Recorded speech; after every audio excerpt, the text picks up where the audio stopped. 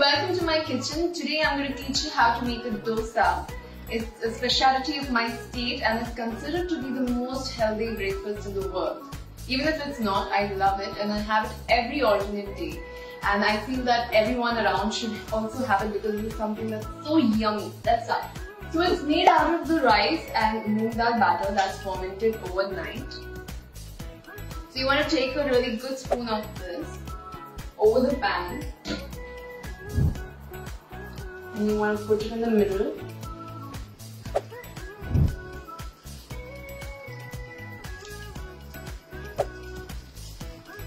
You want to put some oil not a lot a little bit of oil. And you want to smash it and make it you know even from all sides. Wherever you feel there's a lump. So we're all, almost done and I'm just folding the dosa. This is the hardest part. You can see. Okay, there we have yummy dosa. Now have it with some tomato chutney and ginger and cardamom. My name is Fig O'Reilly. I'm Miss Universe Ireland 2019 and today I'm making a homemade pizza. I have an amazing layout of awesome toppings and a very healthy, fresh flour dough base. And uh, yeah, it's gonna be pretty awesome. So come into my kitchen and we'll go ahead and get started. So the first thing that you kind of want to do is knead out your dough on some flour. So once we get this kind of kneaded out, it's gonna take a little while. So I have to flip it and keep going around to make a big old circle. All right, so this is my first homemade pizza. I love to cook. Recently I made fried chicken and homemade mac and cheese for Easter, which was really fun.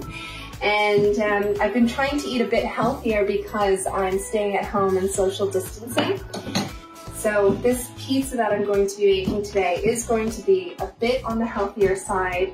The dough is made out of natural yogurt and flour and a couple other things. There's very low amounts of oil and things like that in, in this kind of dough. We're gonna use loads of veg on top. I have just popped the pizza dough into the oven for about three minutes just to get the crust a bit crispier. And now I'm going to put some of the sauce on. Garlic, just a little bit of mozzarella cheese. Now the fun part is the toppings. I'm gonna start with some onion. I have red onion here, as well as yellow onion. I have some yellow and red pepper, some tomato, now a couple herbs, basil, coriander, and the last bit, the salami, and the bacon. So I'm trying to strategically place my salami and my Irish bacon bits.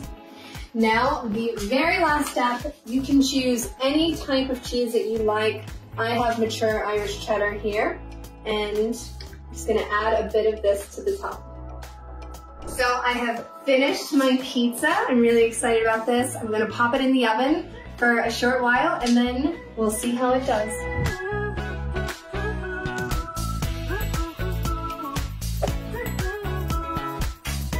Voila! All right, so my pizza is finished. I have my mitts, so I'm gonna take it out of the oven. Have a look at this.